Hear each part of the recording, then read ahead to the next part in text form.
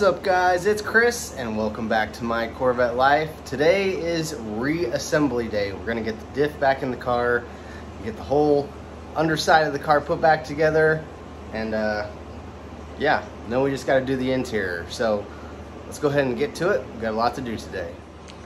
So here is our diff, all completed, ready to get back in the car. Uh, we got the exhaust, we got the spring, and a few other things. Got a lot to do today. So, first things first, we need to roll that diff back under here and get that thing up in the car.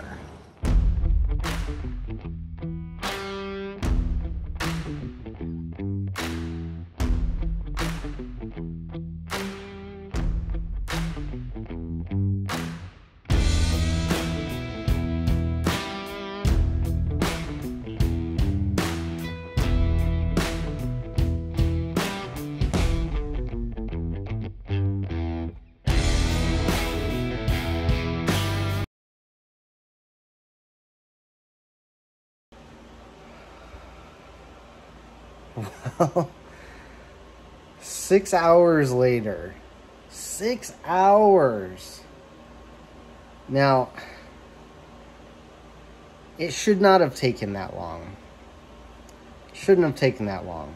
And there was one bolt, one bolt that the hole just wouldn't quite line up just right. And I was working at that thing for hours.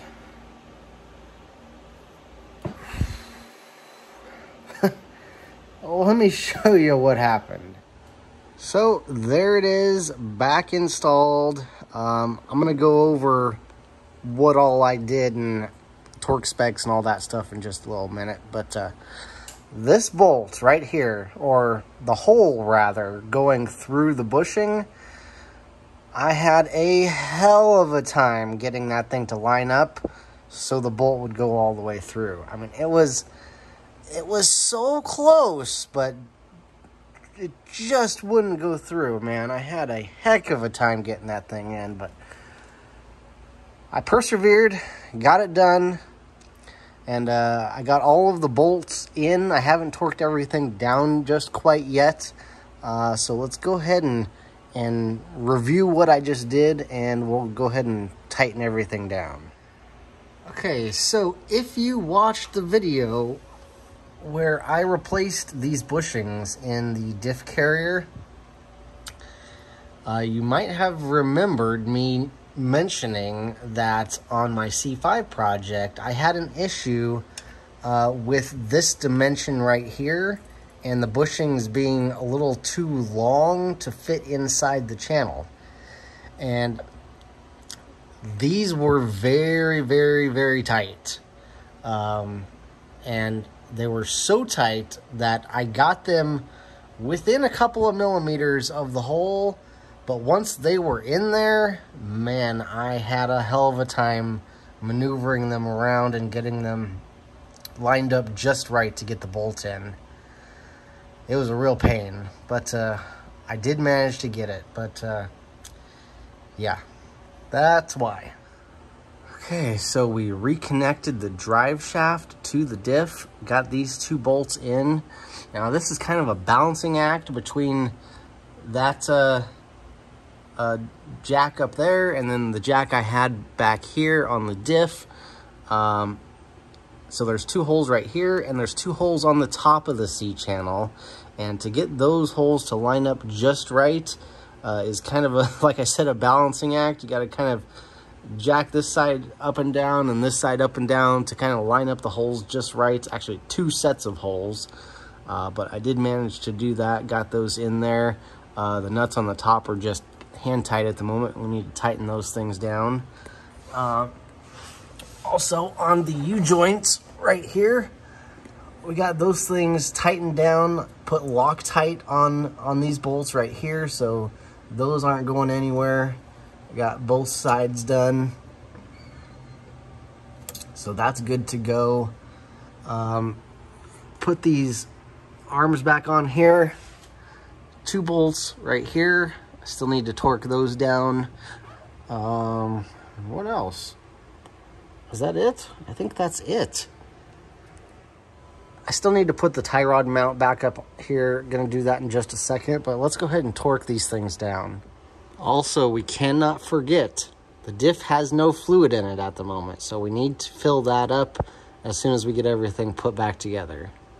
Okay, we're gonna start up here. This is an 18 millimeter bolt. It's got an 18 millimeter nut on the back, and the torque spec is 81 to 96 foot-pounds.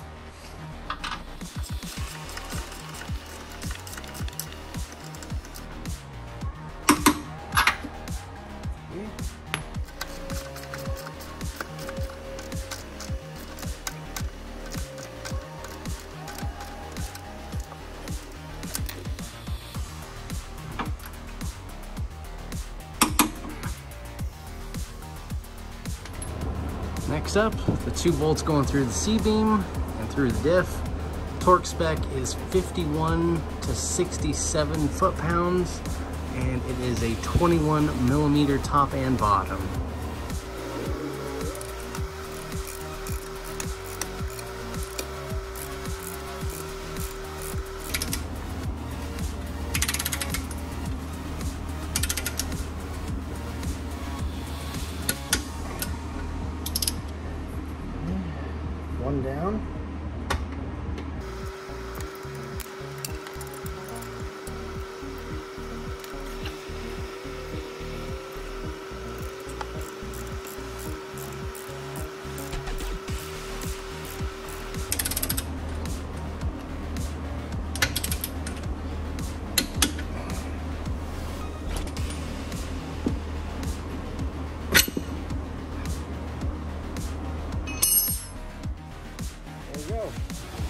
Okay, now we've got these four bolts here for the rear support beams.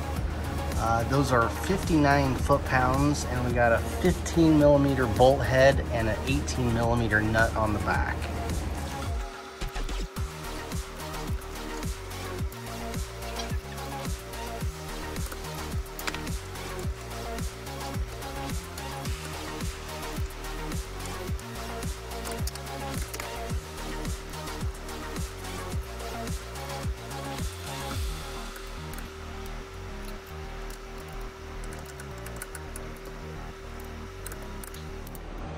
Okay, now we need to reattach our rear tie rods. So I went ahead and cleaned this up and actually repainted these rods uh, the same nickel color as the valve covers. I had some left over from that project.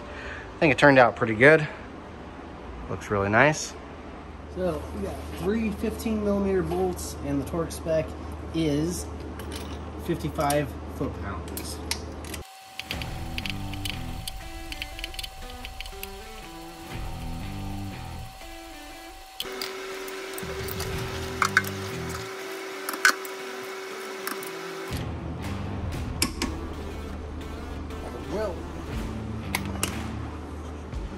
Next, we got to put the leaf spring back on.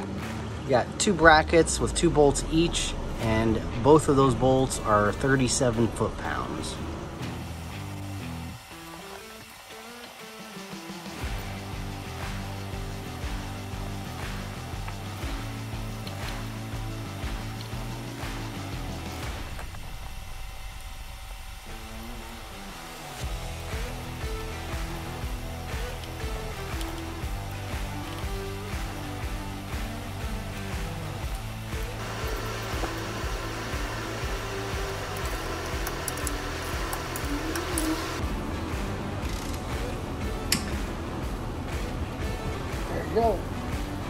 Okay, so now we need to reinstall the spring bolts. So that is the bolt that goes through the leaf spring and through uh, this guy right here. Kind of tightens everything up, kind of sets the right height as well. Uh, I did go ahead and get some new bushings. As you can see, the old ones are pretty flattened. So I'm gonna go ahead and replace those. Uh, so let's go ahead and do it.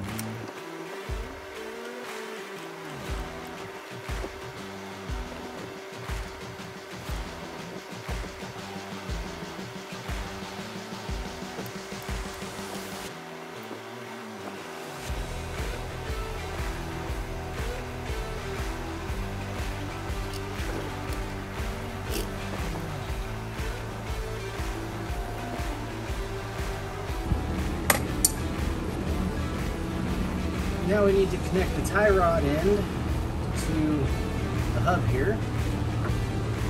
And then torque that nut down to 30 foot-pounds and put the cotter peg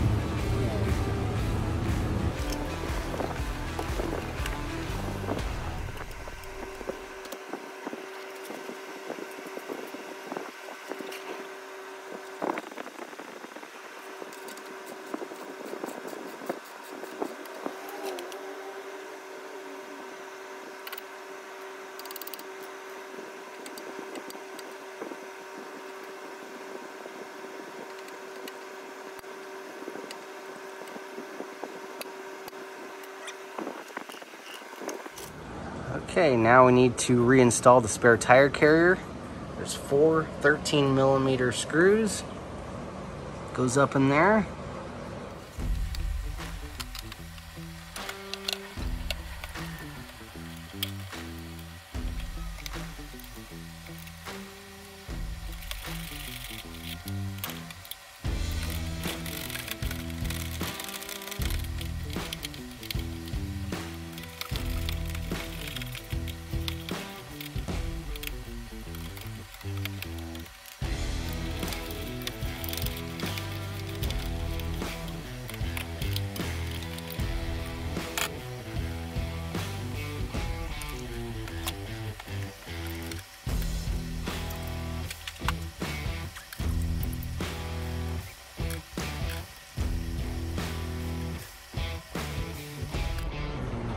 Right, that is complete. Now the final step in the project is to reinstall the exhaust.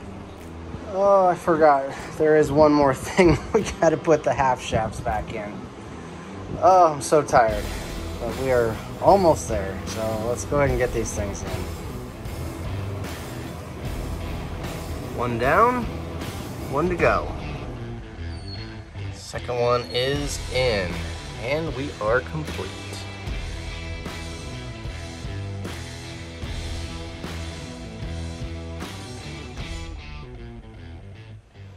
And we are finally complete. So I'm exhausted, so that is going to do it for today's video. I hope you guys enjoyed it. If you did, please smash that thumbs up button. If you're not already subscribed, go ahead and hit that subscribe button below. And until next time, we'll see you guys later. Take care.